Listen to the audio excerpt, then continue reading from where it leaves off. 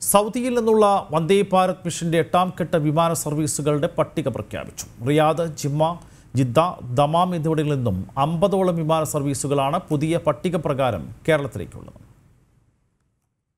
വന്ദേ ഭാരത് മിഷന്റെ ഭാഗമായി സൗദി അറേബ്യയിൽ നിന്നുള്ള എട്ടാം ഘട്ട വിമാന സർവീസുകളുടെ പട്ടിക സൗദിയിലെ ഇന്ത്യൻ എംബസി പ്രഖ്യാപിച്ചു.